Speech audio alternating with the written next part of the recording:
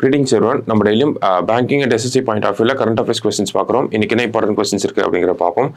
First question state of the ocean report two thousand twenty four which provides crucial insights into the current state of global oceans is initiated by which one of the following? அப்படின்னு கேட்டிருக்காங்க.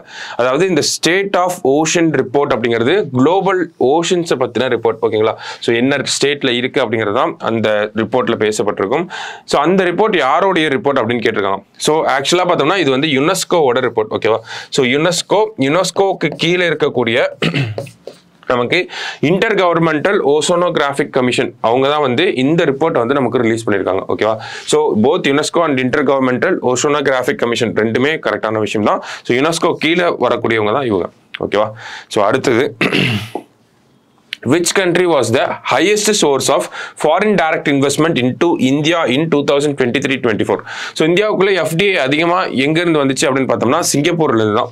அதாவது எவ்வளோ இன் terms of டாலர்ஸில் பார்த்தோம்னா eleven point seven billion dollars வந்து வந்திருக்கும். Second பிளேஸில் யார் இருக்காங்க அப்படின்னு பார்த்தோம்னா மொரீஷியஸ் ஓகேவா ஸோ மொரீஷியஸ்லேருந்து இந்தியாவுக்கு எவ்வளோ வந்துச்சு அப்படின்னு பார்த்தோம்னா in terms of dollar seven billion dollars வந்து வந்திருக்கு. அப்படிங்கிறத சொல்லியிருக்காங்க. ஓகேவா ஸோ அப்போ ஃபாரின் டைரக்ட் இன்வெஸ்ட்மெண்ட்டோட ஹையஸ்ட் சோர்ஸ் எங்க இருந்துன்னா நமக்கு சிங்கப்பூர் தான் சரிங்களா? அடுத்தது what is the prize money set by the International Cricket Council for the men's T twenty World Cup அப்படின்னு கேட்டிருக்காங்க. So ninth edition of World Cup அப்படிங்கிறது நமக்கு வெஸ்ட் இண்டீஸ் அமெரிக்கா இங்கே நடந்துட்டு இருக்கு.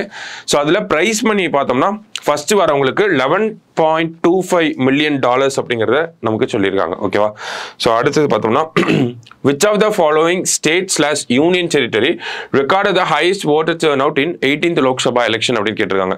So highest voter turn out எங்கே அப்படின்னு பார்த்தோம்னா லக்ஷதீப்பில் எவ்வளோ பர்சன்டேஜ்னா எயிட்டி ஃபோர் பர்சன்டேஜ் அடுத்தது பார்த்தோம்னா அஸ்ஸாமில் எயிட்டி ஒன் பர்சன்டேஜ் இந்தியா ஃபுல்லாக பார்க்குறப்ப sixty five point seven nine percentage India ஃபுல்லாக ஓகேவா ஸோ இது வந்து இந்தியாவோட ஆவரேஜ் ஸோ எங்கே இருக்கிறதுலே கம்மி அப்படின்னு பார்த்தோம்னா நமக்கு பீகாரில் தான் இருக்கிறதுலே கம்மி.